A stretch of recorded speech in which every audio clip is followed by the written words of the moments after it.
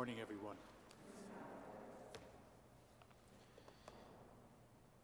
Test me, O God, and know my thoughts. See that my path is now wicked, and lead me in the way everlasting. In the name of the Father, the Son, and the Holy Spirit. The grace of our Lord Jesus Christ, the love of God, and the communion of the Holy Spirit be with you all. My brothers and sisters, let us prepare hearts to celebrate the sacred mysteries of the Eucharist by calling to mind our faults and seeking God's love, mercy, and forgiveness. Lord Jesus, you raised the dead to life in the Spirit. Lord, have mercy. Lord Jesus, you bring pardon and peace to the sinner. Christ, have mercy. Lord Jesus, you bring light to all those in darkness. Lord, have mercy. May Almighty God have mercy on us, forgive us our sins, and bring us to everlasting life. And let us gather all of our prayers together into one.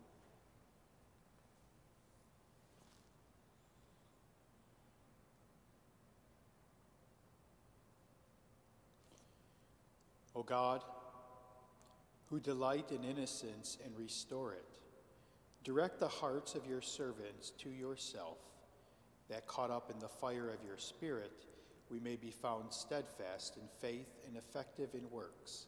Through our Lord Jesus Christ, your Son, who lives and reigns with you in the unity of the Holy Spirit, God forever and ever.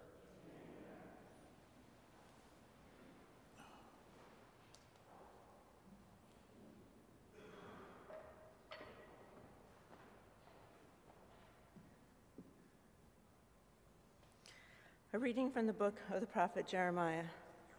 Thus says the Lord Cursed is the man who trusts in human beings, who seeks his strength in flesh, whose heart turns away from the Lord. He is like a barren bush in the desert that enjoys no change of season, but stands in a lava waste, a salt and empty earth.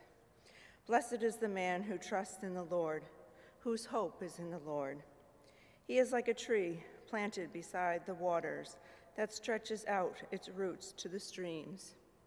It fears not the heat when it comes, and its leaves stay green. In the year of drought, it shows no distress, but still bears fruit.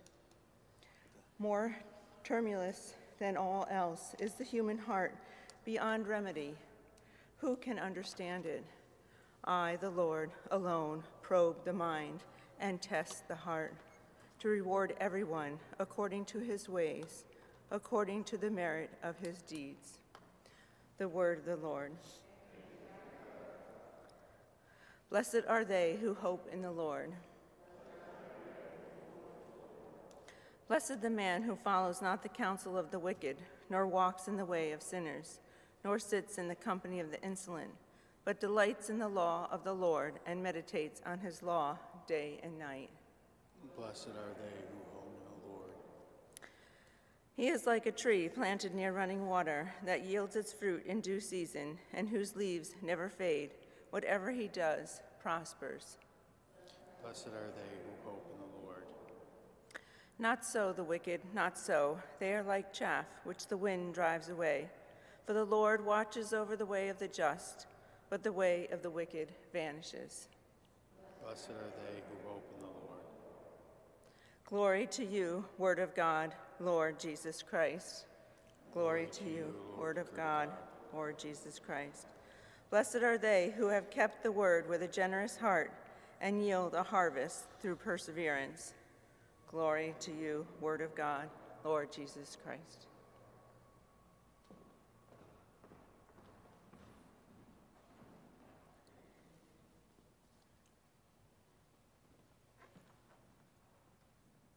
The Lord be with you. A reading from the Holy Gospel according to Luke.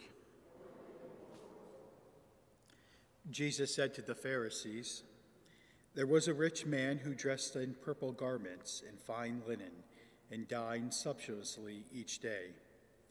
And lying at his door was a poor man named Lazarus, covered with sores, who would greatly have eaten his fill of the scraps that fell from the rich man's table.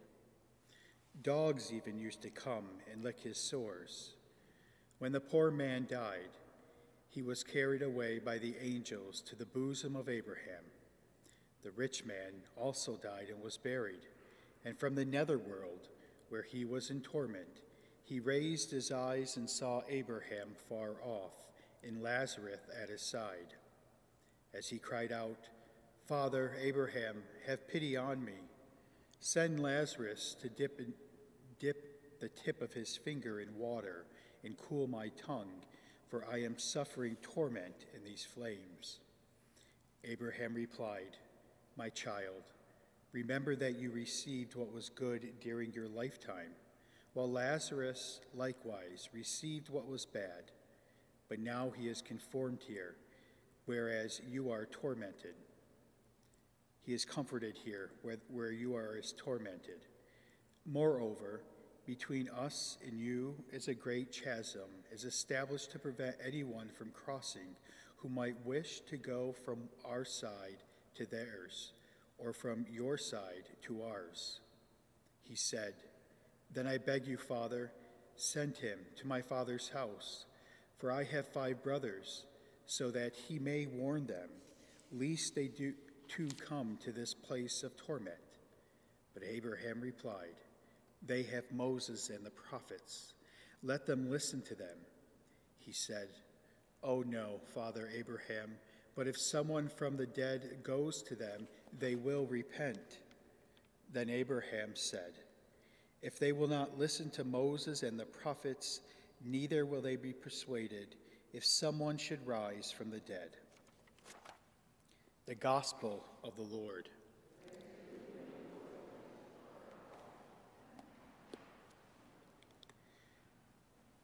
In the 16th chapter of Luke, the readings this morning are pretty harsh because the readings are trying to make a contrast between people who hope in this world versus people who hope in God. And this is the very case for the rich man and Lazarus. The rich man had great hope in the things of this world possessions, food, health, shelter, and all those other things.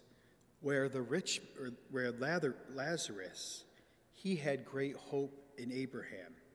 And so at the time when both of them dead, were dead or had died, the one who was happiness in this world was left to perish in the torments of hell. Rather, Lazarus, who suffered throughout his life. And we even hear the sad story that the dogs came and even licked his sores, knowing that no one else was taking care of him, except his sores were so severe that the dogs came and licked them. And so it's Lazarus who was in heaven with God, who reaped the rewards of the eternal banquet we hear so many times as we go throughout the readings of Lent that we must care for others. And that's not just caring by putting money in the basket or donating here or there, but it's caring for our neighbors with a heart of love, a heart of compassion, a heart of mercy, so that we can look at all of our brothers and sisters, our neighbors here and afar, and not judge them, but be reminded that they were created in the image and the likeness of God. Not everyone acts in this world in the image of the likeness of God, and therefore we are separated by God. During this time of the pandemic, I am reminded of all those who are separated from those who they need most people in their community, their families, their friends to receive the loving grace. Today's Mass, coincidentally, is for my Aunt Dolores, who has recently passed. And in her elder years, she, in my prayer, she was the personification of this message that she did not dwell on the things of this world, but through her suffering, she was closer to God, realizing Jesus Christ who suffered for all of us, that when we suffer, Jesus Christ suffers with us. And so at the time when the Heavenly Father called her home from leaving this world, journeying to eternal life, it was some of her happiest moments because she truly experienced what it means that God's love is saving. My brothers and sisters, as we go throughout these days during this second week of Lent, we are reminded that Lent is a time for all of us to see our neighbors in our world with new eyes, eyes of love and generosity, but also to look for ourselves. Because when we come to the judgment table, God will judge us on our actions here on earth rather than our love and willingness to accept Him when He judges us in heaven. In the name of the Father, the Son, and the Holy Spirit. Let us pray.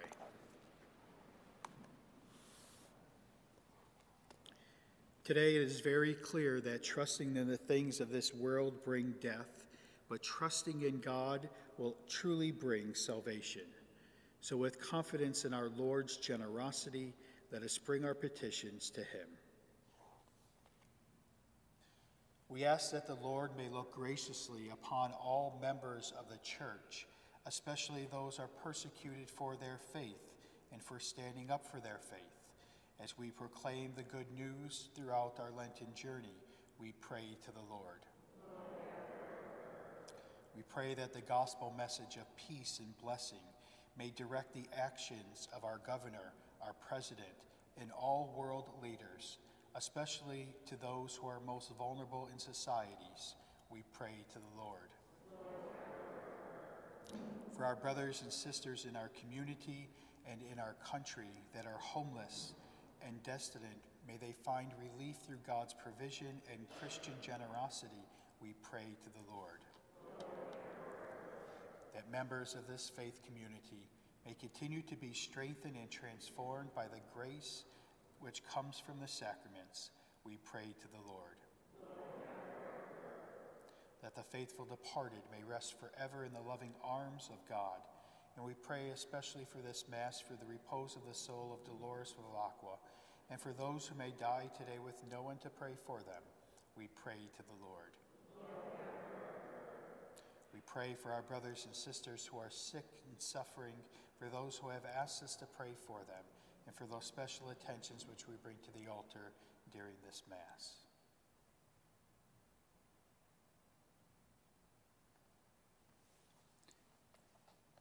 We pray to the Lord. Almighty Father, giver of every perfect gift, grant us these prayers we ask through your Son, Jesus Christ.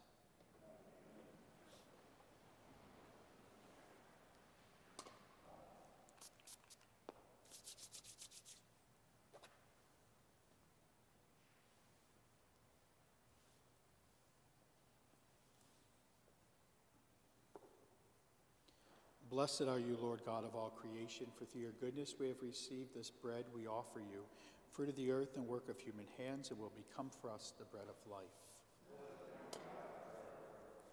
By the mystery of this water and wine, may we share in the divinity of Christ, who humbled himself to share.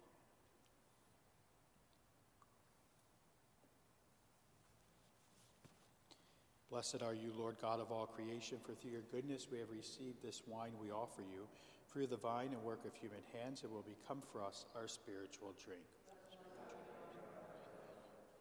Lord, wash me from my iniquity and cleanse me from my many sins. Pray, my brothers and sisters, that my sacrifice and yours may be acceptable to God the Almighty Father.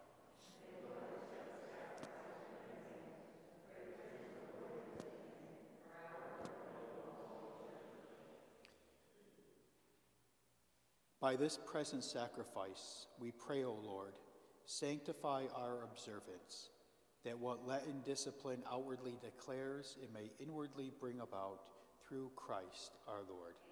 The Lord be with you. Lift up your hearts. Let us give thanks to the Lord our God. It is truly right and just, our duty and salvation, always and everywhere, to give you thanks, Lord, Holy Father, Almighty and eternal God. For you have given your children a sacred time for the renewing and purifying of their hearts, that freed from the disordered affections, they may deal with the things of this passing world, and so hold rather to the things that eternally endure. And so, with all the angels and saints, we praise you as without end we acclaim. Holy, holy, holy Lord, God of hosts, heaven and earth are full of your glory. Hosanna in the highest. Blessed is he who comes in the name of the Lord. Hosanna in the highest. You are indeed holy, O Lord, the font of all holiness. Make holy, therefore, these gifts, we pray, by sending down your Spirit upon them like the dewfall, that they may become for us the body and blood of your Son, our Lord Jesus Christ. At the time he was betrayed and entered willingly into his passion, he took bread and giving thanks broke it and gave it to his disciples, saying, Take this, all of you, and eat of it, for this is my body, which will be given up for you.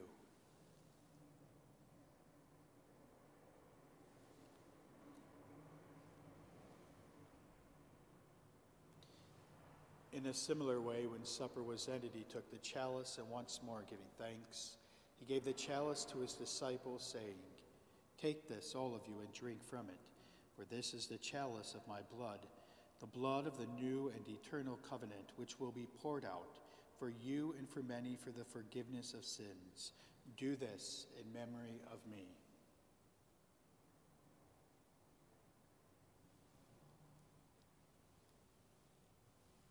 The mystery of faith.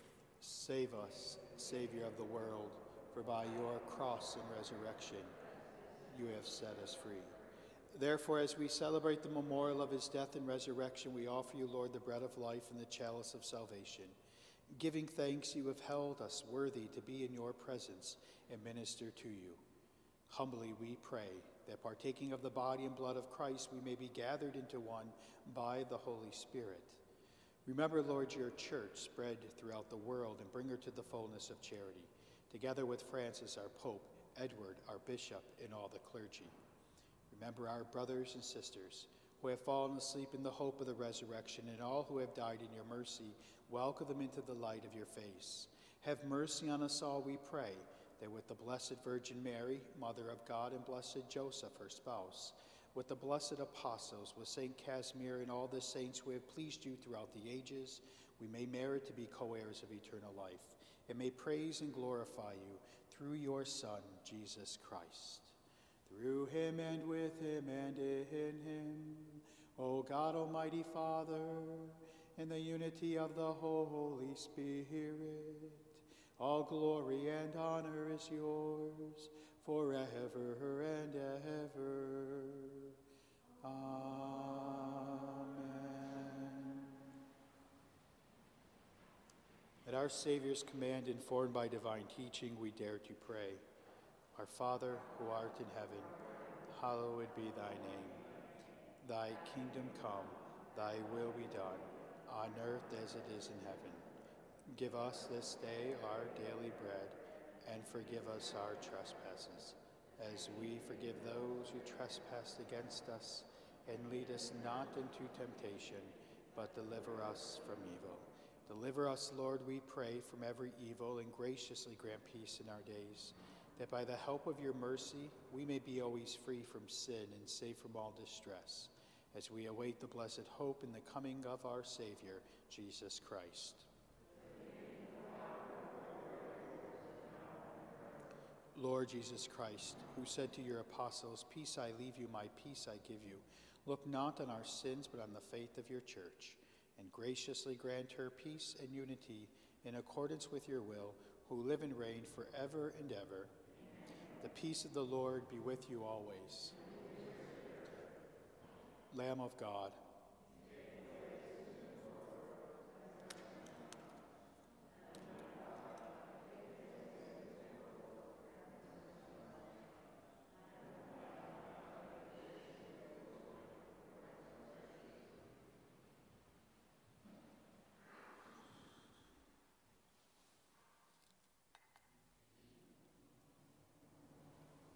Behold the Lamb of God.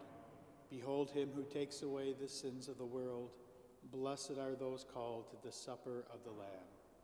Lord, I am not worthy that you should enter under my roof, but only say the word, and my soul shall be healed. May the body of Christ keep me safe for eternal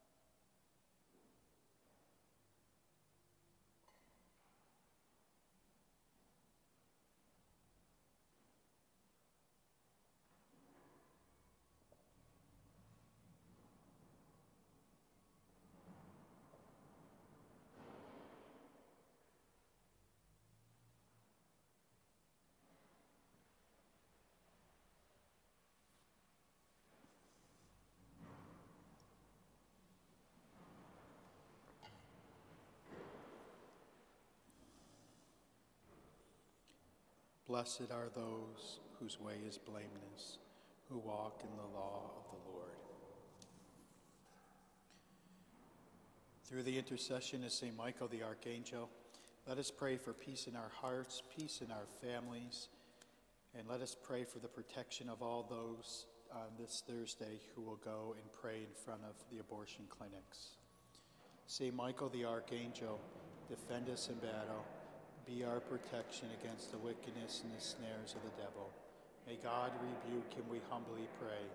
And do thou, O Prince of the heavenly host, by the power of God, cast into hell Satan and all the evil spirits who prowl around the world, seeking the ruin of souls. Amen. Our Lady, Queen of Peace.